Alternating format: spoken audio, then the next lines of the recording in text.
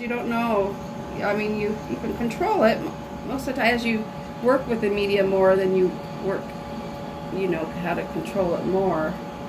And, um, but sometimes there is some nice little unexpected little things that happen.